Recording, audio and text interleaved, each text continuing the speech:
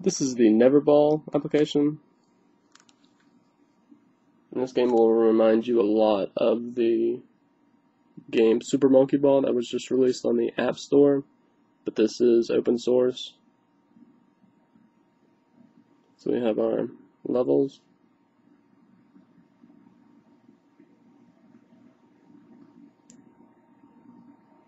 Click to begin.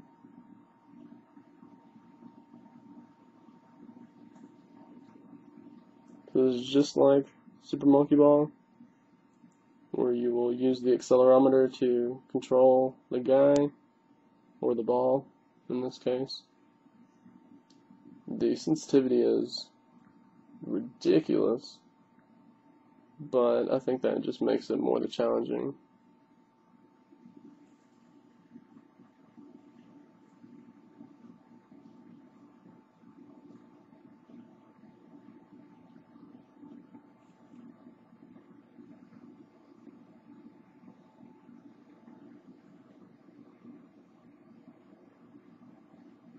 We got our goal, we can go to the next level.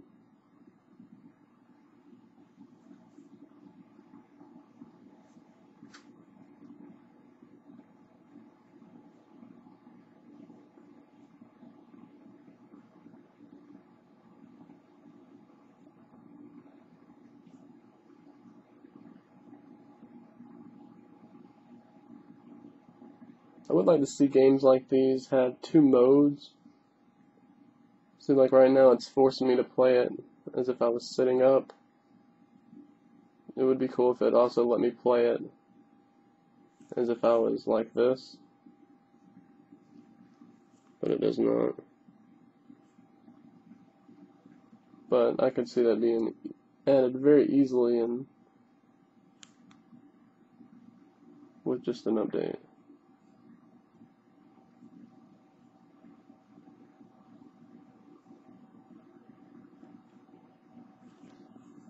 Oh no, come on. So close. Aha! New record. Take that.